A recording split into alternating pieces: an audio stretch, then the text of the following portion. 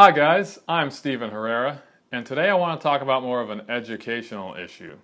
I want to talk about student loan debt and the impact that it can have on life choices. The average college graduate has $5,000 per year in student debt payments that they're supposed to be making, but they're only paying about 60% of it. That's because they have to spend a lot of their income paying car payments and credit card payments, which are the main drivers of economic growth. However, because of being saddled with all this debt, people are delaying life choices. For example, maybe they can't afford a house in a good school district, so they'll endure a long commute from the Inland Empire to Los Angeles to go to their job every day. Uh, now, the problem with student loan debt is that it can't be discharged through bankruptcy. So, unless you are a government worker and you qualify for a student loan forgiveness, you're pretty much stuck with those student loans. Um, incomes for college graduates have been stagnant since 1970.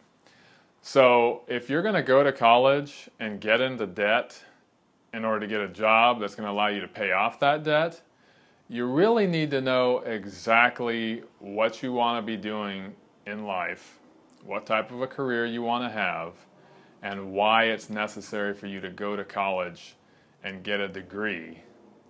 Because the days of going to college, graduating, and thinking you're going to figure it out after graduation and land a $100,000 job are over.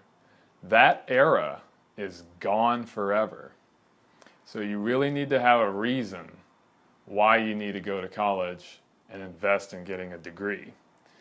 Having said that, if you do go to college and you've gotten that degree, you've graduated, and you've earned a credential from a top tier university, then that's a mighty fine accomplishment that nobody can take away from you. So you got to be proud for that. I'm just saying, let's think about the student loan debt crisis that exists in the world today, and let's reevaluate whether or not there's a need to even go to college at all. So you really need to start with the end in mind. And if in fact you do need to get the college degree to give you that credential, to move down that career path, then so be it. But I'm just saying, be careful what you choose to do.